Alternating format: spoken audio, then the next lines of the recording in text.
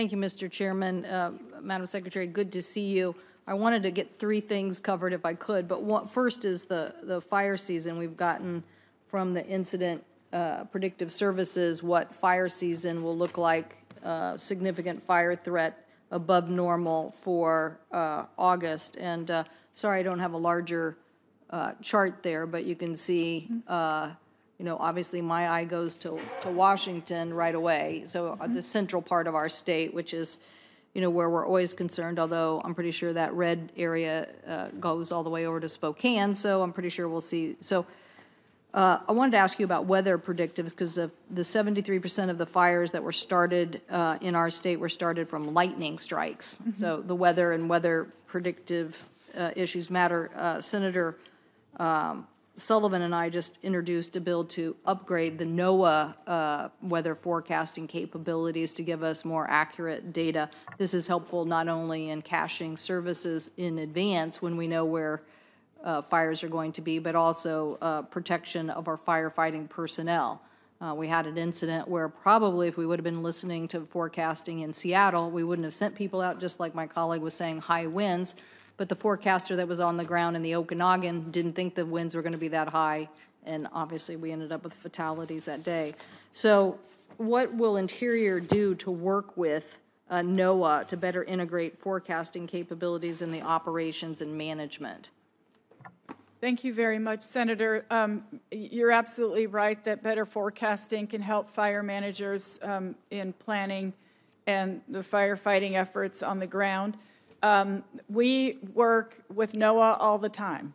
Uh, We are, um, we work with our colleagues across the federal government uh, for issues such as this, and I'll make sure that we are reaching out to NOAA specifically on this issue and doing all we can to uh, If we, if we need an MOU or something, whatever we call it, within the government, I hope we do that, because I think it's, is Thank you. important. The second map is, is on drought conditions, which, you know, again, you would think rainy Seattle, what are you talking about? Well, the central part of our state there, big agriculture basin, and, you know, I really start worrying about wheat when we look at what's going on in Ukraine, and I look at what's happening, the wheat production in Washington and Idaho is quite significant, so um, we are having, we are hearing from our, our wheat growers uh, that, I mean, we're still in drought conditions, and so that's why we have fought for uh, funding and technologies to look at aquifer recharge.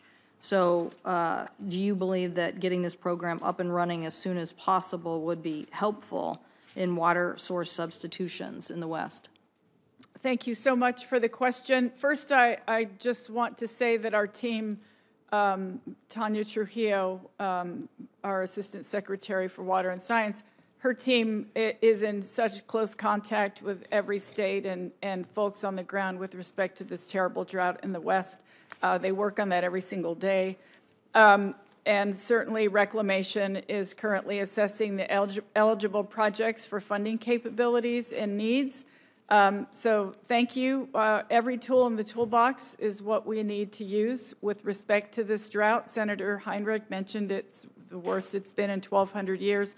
Um, So I just want you to know that we're, we're doing everything that we possibly can and appreciate you um, bringing that. Yeah, I uh, think the recharge idea is a great idea. I just think we got to get, get on it and get on it quickly. The last thing, I wanted to, the chairman had a meeting I was unable to attend on uh, Canadian uh, cooperation and issues related to, to mining. Uh, To me, um, showcases how Canada has been successful at hard rock mining because they've had a royalty system.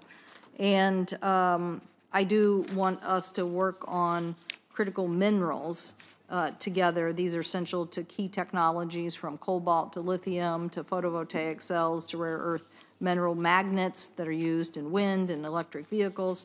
So we need to focus on making sure the U.S. is competitive in critical mineral markets and find innovative ways and environmentally responsible ways to do that, including uh, the recycling these materials.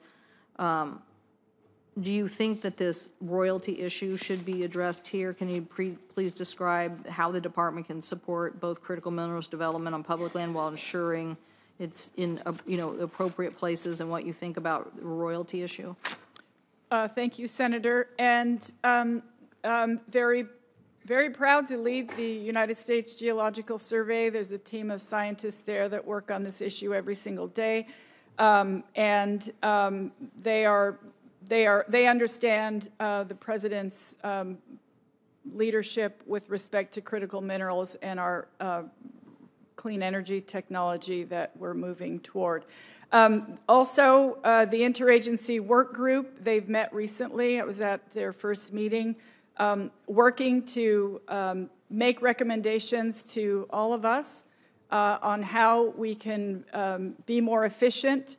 Um, the the mining law is um, 150 years old, has not had any changes since then, so it's pretty clear that um, we, our country has changed, uh, and so it's, it's, it's, I'm happy that they have a chance to work on that, but we'll take all those recommendations to heart. Did anybody want to make a co- comment on the royalty issue?